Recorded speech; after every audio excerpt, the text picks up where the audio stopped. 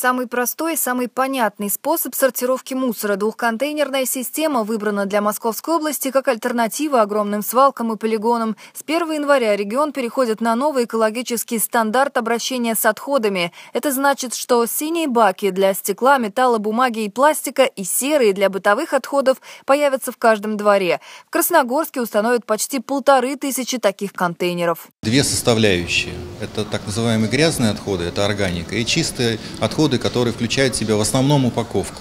Их проще, так сказать, даже с точки зрения наших небольших кухонь организовать.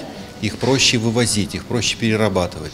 Вполне возможно, что мы поэксплуатировав такую систему и созреем для более сложной системы. До внедрения новой системы всего ничего. О том, как все будет работать, журналистам рассказал гендиректор управляющей компании «Региональный оператор», которая заменит собой возчиков мусора. С января полномочия по вывозу отходов будут выполнять семь подведомственных ей операторов. Один из них, русский, будет обслуживать красногорских потребителей по установленной правительством области цене и нормативу накопления.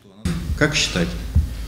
Берите свою, опять же, 50-метровую квартиру, умножаете на 0,114 тысячных, умножаете на тариф 791,3 и делите это на 12.